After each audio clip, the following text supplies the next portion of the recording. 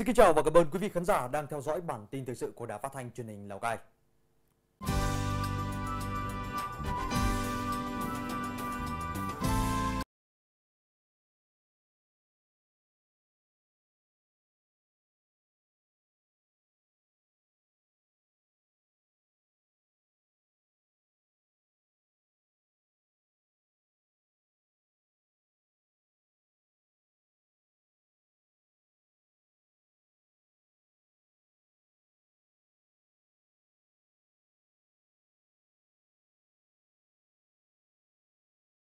Thưa quý vị và các bạn, nhân dịp kỷ niệm 74 năm Quốc khánh nước Cộng hòa xã hội chủ nghĩa Việt Nam, mùng 2 tháng 9 năm 1945, mùng 2 tháng 9 năm 2019, ngày 30 tháng 8 năm 2019, huyện ủy Mường Khương tổ chức lễ trao tặng huy hiệu Đảng đợt mùng 2 tháng 9 cho các đảng viên thuộc Đảng bộ xã Bản Lầu và Đảng bộ cơ quan huyện ủy. Dự lễ trao huy hiệu Đảng có đồng chí Lý Xeo Dìn, Ủy viên Ban Thường vụ, Trưởng ban Dân vận tỉnh ủy Lào Cai. Đợt này, huyện ủy Mường Khương có 15 đảng viên được trao huy hiệu Đảng, trong đó có 6 đồng chí được nhận huy hiệu 30 năm tuổi Đảng, 4 đồng chí nhận huy hiệu 40 năm tuổi Đảng, 4 đồng chí nhận huy hiệu 50 năm tuổi Đảng và một đồng chí nhận huy hiệu 60 năm tuổi Đảng. Phát biểu tại buổi lễ, đồng chí Lý Sao Dìn, Ủy viên Ban Thường vụ, Trưởng ban Dân vận tỉnh ủy Lào Cai, chúc mừng các đồng chí đảng viên vinh dự được trao tặng huy hiệu Đảng đợt này. Đồng chí mong muốn các đảng viên tiếp tục phát huy phẩm chất cách mạng, nêu gương thực hiện nhiệm vụ của đảng viên, vận động gia đình và nhân dân thực hiện tốt chủ trương, đường lối của Đảng, chính sách, pháp luật của nhà nước, góp phần xây dựng quê hương ngày một phát triển. Các đảng viên được nhận huy hiệu Đảng đợt mùng 2 tháng 9 đều bày tỏ niềm xúc động, tự hào khi được nhận phần thưởng cao quý của Đảng và nhà nước, đồng thời hứa tiếp tục giữ vững bản lĩnh chính trị, phẩm chất cách mạng của người đảng viên Cộng sản Việt Nam là tấm gương sáng cho các cán bộ, đảng viên và quần chúng noi theo, đóng góp công sức, trí tuệ, kinh nghiệm để xây dựng Đảng bộ huyện Mường Khương ngày càng trong sạch vững mạnh. Dịp này, Đảng bộ huyện Bảo Yên cũng đã tổ chức các đoàn trao huy hiệu Đảng cho 58 đảng viên tại các đảng bộ xã, thị trấn trên địa bàn huyện. Trong đợt này có 58 đồng chí đảng viên được trao tặng huy hiệu Đảng. Trong suốt thời gian kể từ khi được kết nạp vào Đảng, nhưng các đồng chí đều phát huy tốt phẩm chất của một người đảng viên Đảng Cộng sản, luôn nỗ lực phấn đấu, gương mẫu đi đầu trong mọi hoạt động của cơ quan đơn vị và hoàn thành xuất sắc các nhiệm vụ được phân công. Khi được nghỉ chế độ về với địa phương, các đồng chí vẫn không ngừng cố gắng, tích cực tham gia hoạt động của các đoàn thể trong thôn bản, chấp hành tốt quy ước hương ước của địa phương. Nhận huy hiệu Đảng là một vinh dự lớn của bản thân mỗi đảng viên. Các đảng viên hứa sẽ tiếp tục phát huy truyền thống cách mạng, vận động gia đình con cháu chấp hành tốt chủ trương chính sách của Đảng, pháp luật của nhà nước, tích cực học tập, tham gia lao động, sản xuất, phát triển kinh tế để góp phần xây dựng quê hương đất nước. Hòa trong không khí hân hoan ngày Quốc khánh mùng 2 tháng 9, Ngày hội toàn dân đưa trẻ đến trường, thầy và trò trường tiểu học Bắc Cường, thành phố Lào Cai vừa tổ chức ngày hội chào đón năm học mới và thực hiện năm điều Bác Hồ dạy. Với nội dung cách làm đổi mới, nhà trường đã phát động phong trào thi đua làm theo năm điều Bác Hồ dạy.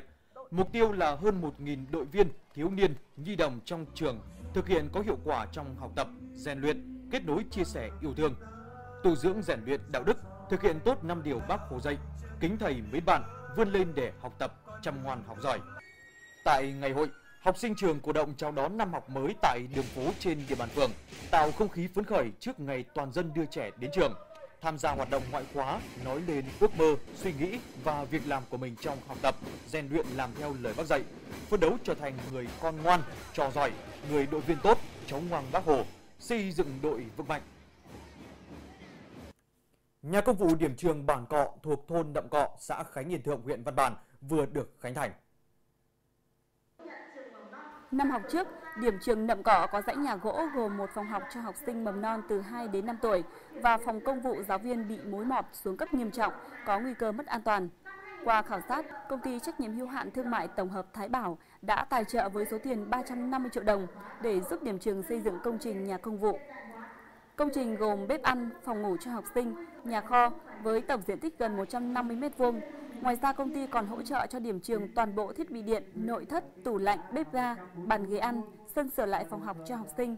Công trình được hoàn thành và bàn giao cho trường mầm non Khánh Yên Thượng đưa vào sử dụng đúng dịp bước vào năm học mới 2019-2020 có ý nghĩa quan trọng, giúp nhà trường duy trì các hoạt động giáo dục. Đặc biệt, học sinh có phòng ăn đảm bảo, những ngày này cùng với các trường học trên địa bàn tỉnh, các trường học trên địa bàn xã Bản Liền, huyện Bắc Hà cũng đang tất bật sửa chữa, nâng cấp cơ sở vật chất, đầu tư trang thiết bị phục vụ công tác giảng dạy của năm học mới. Theo kế hoạch, năm học 2019-2020, xã Bản Liền sẽ huy động gần 500 học sinh ra lớp ở các bậc từ mầm non đến trung học cơ sở. Trong đó, các nhà trường đã chủ động tiến hành giả soát lại toàn bộ hệ thống trường lớp học, trang thiết bị đã xuống cấp, cần sửa chữa hoặc đầu tư mới. Để đáp ứng nhu cầu dạy và học, trường mầm non Bản Liền được đầu tư xây thêm 5 phòng học chức năng, hiện tại đã hoàn tất, kịp thời đưa vào sử dụng trong năm học mới này. Chúng em thường uh, tạo cho khuôn viên này và các góc chơi cho trẻ thật là phong phú. Nhiều đồ chơi ngoài những đồ chơi được uh, phòng giáo dục và các sở giáo dục đã đã tạo điều kiện cho thì chúng em sẽ làm thêm những cái đồ dùng tự tạo để cho trẻ được trải nghiệm và hứng thú hơn ạ. Cùng với đó, trường phổ thông dân tộc bán chú tiểu học và trung học cơ sở Bản Liền cũng đang gấp rút hoàn tất công việc để kịp thời gian tự trường. Lớp học, phòng chức năng, sân bãi được sửa chữa nâng cấp, tạo thêm sự phấn khởi, động lực cho thầy cô và học sinh trong năm học mới này. Từ năm 2017 thì à, nhà trường sáp nhập trên cơ sở là tiểu học và trung học cơ sở. Thì à, nhà trường cũng đã phân công à, cán bộ, giáo viên, nhân viên sẽ đứng lớp để giảng dạy. Thì với cái phương châm đó là giáo viên các môn chuyên biệt thì sẽ giảng dạy cả hai khối để đảm bảo cái ờ, số tiết theo định mức quy định. Và ngoài ra thì nhà trường đã tổ chức ờ, họp để phân công ờ, giáo viên, nhân viên theo đúng quy định. Trong năm 2018-19 thì nhà trường đã được xây dựng hệ thống bếp ăn, nhà vệ sinh, nhà tắm. Thì cơ bản là đảm bảo để phục vụ nhu cầu ăn và ở của học sinh bán trú trong năm học. Đến năm học mới 2019-2020 đạt được kết quả cao nhất, cấp ủy chính quyền địa phương xã Bản Liền đã phối hợp chặt chẽ với ban giám hiệu các nhà trường thực hiện tốt chế độ chính sách của nhà nước dành cho giáo viên và học sinh, duy trì hiệu quả mô hình nội trú bán trú ở các cấp học. Lễ hội mùa thu Sapa sẽ chính thức được khai mạc vào dịp nghỉ lễ mùng 2 tháng 9. Cùng với việc chỉnh trang đô thị, công tác vệ sinh môi trường cũng đang được địa phương tích cực triển khai thực hiện. Để kỳ nghỉ lễ và việc tổ chức lễ hội diễn ra thành công, bên cạnh việc xây dựng phương án đảm bảo an ninh trật tự, công tác chỉnh trang đô thị, dọn dẹp vệ sinh môi trường cũng được đặt lên hàng đầu. Xí nghiệp môi trường đô thị Sapa đã huy động 100% cán bộ, công nhân viên chức lao động tích cực tham gia vệ sinh môi trường, thay lại các thảm hoa, lắp đặt hệ thống chiếu sáng, bố trí thêm thùng rác tại các khu vực trung tâm. Để lan tỏa mạnh mẽ tinh thần bảo vệ môi trường và thu hút đông đảo người dân và du khách tham gia, Ủy ban nhân dân thị trấn Sapa đã phối hợp với công ty Sunworld Fasipang Legend tổ chức chiến dịch tuần Sapa xanh với chủ đề Thành phố trên mây chỉ trồng cây không xả rác. Chiến dịch đã thu hút hơn 300 tình nguyện viên là cán bộ, công nhân viên công ty và bà con các tổ dân phố trên địa bàn thị trấn tham gia với hàng chục tấn rác được thu gom. Nhờ đó, cảnh quan khu trung tâm thị trấn Sapa đã trở nên thông thoáng và sạch đẹp hơn.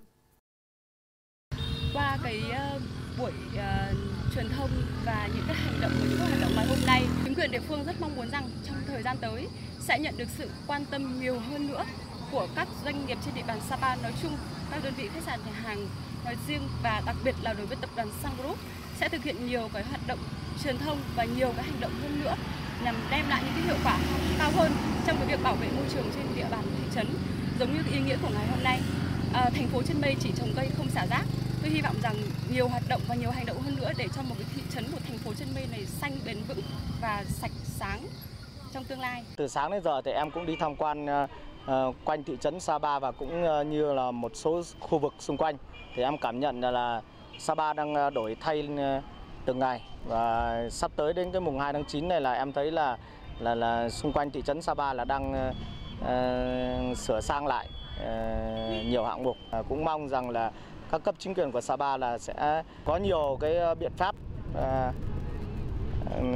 chỉnh trang lại đô thị để uh, cuốn hút uh, khách du lịch Đến thời điểm này, công tác chỉnh trang đô thị và dọn dẹp vệ sinh môi trường ở Sapa đã cơ bản hoàn tất, sẵn sàng cho dịp nghỉ lễ mùng 2 tháng 9.